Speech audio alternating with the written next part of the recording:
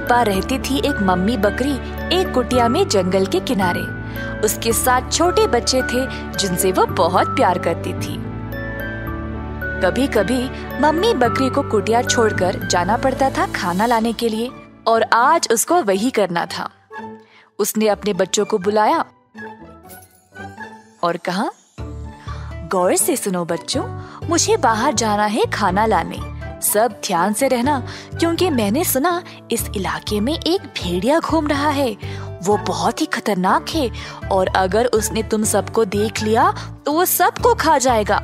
वो बहुत शातिर है, और किसी और के रूप में भी आ सकता है। उसकी आवाज़ बहुत कठोर है, और उसके पैर काले। तो नज़र रखना, और घर में ही रहना। किसी को भी अंदर आने नहीं देना। चिंता मत करो, मम्मी। हम बहुत सावधानी से रहेंगे। हम किसी के लिए भी दरवाज़ा नहीं खोलेंगे। आप आराम से जाओ। और अंदर से जब उन्होंने ताला लगाया, तब वह वन की ओर निकल पड़ी। उसी समय वो भेड़िया जो पेड़ के पीछे छुपा था, बाहर निकल आया मम्मी बकरी के जाते ही। दरवाजे पर गया और खटखटाया।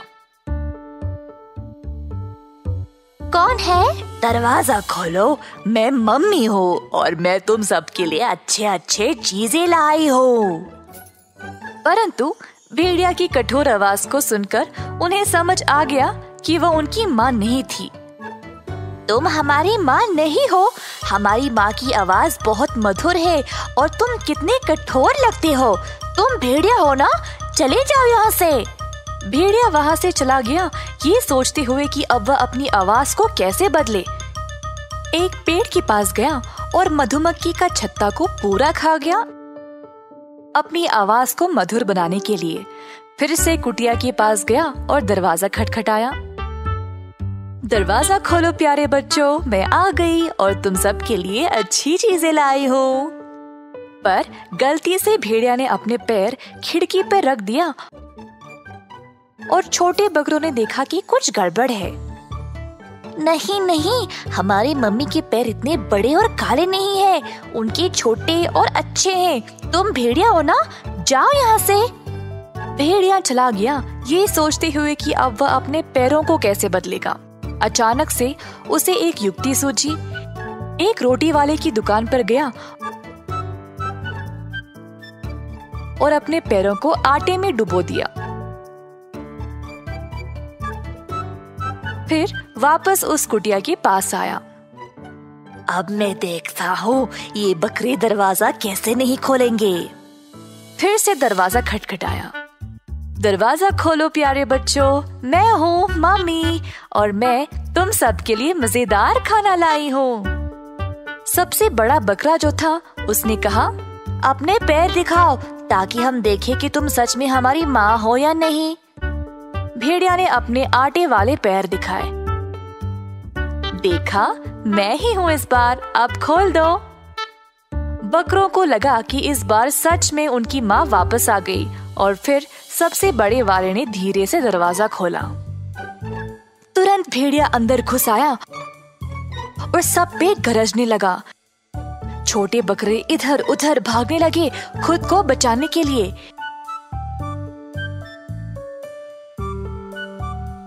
एक ने मेज के नीचे छिपने की कोशिश की। पर भेड़िया उसको पकड़ के खा गया। एक बर्तन के पीछे। पर भेड़िया उसको भी खा गया। तीसरा कोठार में गया, पर भेड़िया उसको भी खा गया। चौथा अपनी माँ की कुर्सी के पीछे, पर भेड़िया ने उसको भी पकड़ा।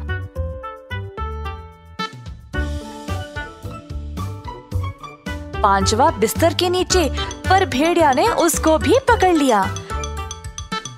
छठा टब में छुपने की कोशिश की। परंतु भेड़िया उसको भी खा गया। केवल सबसे आखिरी और सबसे छोटा बकरा सुरक्षित पुराने घड़ी के पीछे छुपा था। जब भेड़िया को कोई और नहीं मिला तो उसने कहा मुझे याद तो नहीं आ रहा। यहाँ कितने थे? छह या सात? पता ही नहीं चला मैंने कितनों को खाया। चलो, मेरा पेट तो भर गया है। थोड़ा आराम कर लूँ। अगर और कोई बचा तो मैं बाद में उसको देख लूँगा। तो भेड़िया गया बाहर और एक सेब के पेड़ के नीचे आराम से सो गया। जल्दी वह खरांटे लेते हुए गहरी नींद में चला गया। कुछ देर बाद मम्मी बकरी खाना लेकर वापस आई और घर पे सब कुछ बिखरा हुआ देखकर परेशान हो गई। तो उसे समझ आ गया कि भेड़िया ही उधर आया होगा। मम्मी बकरी ज़ोर ज़ोर से रोने लगी। अचानक से उसने एक छोटी सी आवाज़ सुनी। मम्मी, आप ही हो क्या? हाँ बच्चा, मैं ही हूँ। कहाँ हो? और इधर क्या हुआ? सबसे छोटा बकरा बाहर निकल आया और अपनी माँ को सारी घटना सुनाई। हे भगवान, नहीं, ये क्या हो गया? मम्मी बकरे ने सोचा कि वो खुद देखेगी, अगर कोई बचा या नहीं।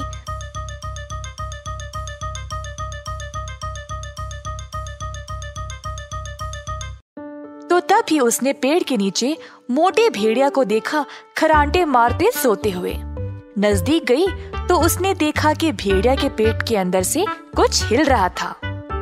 उसको लगा शायद उसके बच्चे अभी भी ज़िंदा है। जल्दी वह अपने घर गई और एक बड़ी सी कैंची को ले आई। उसने भेड़िया के पेट को काटा तो उसके सारे बच्चे बाहर निकल आए। मम्मी बकरी बहुत खुश हो गई। भेड़िया इतना लालची था कि उसने बकरों को खाने के बजाय सीधा निगल लिया था। फिर उसने अपने बच्चों को कुछ पत्थर इकट्ठा करने को कहा।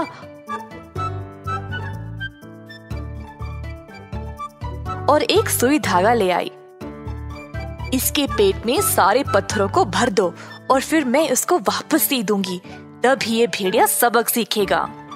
सब बच्चे बड़े बड़े पत्थर ले आए और मम्मी बकरी ने सारा कुछ भेड़िया के पेट में भर डाला।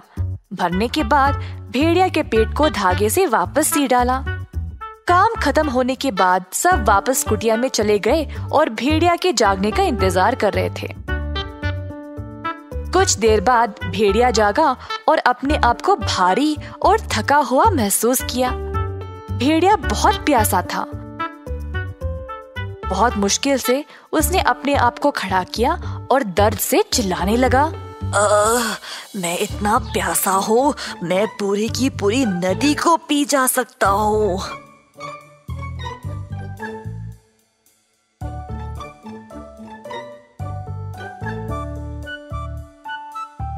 नदी के पास गया और जब पानी पीने के लिए नीचे झुका तो भेड़िया पत्थरों की भार से फिसल गिर पड़ा और नदी में ही डूब मरा।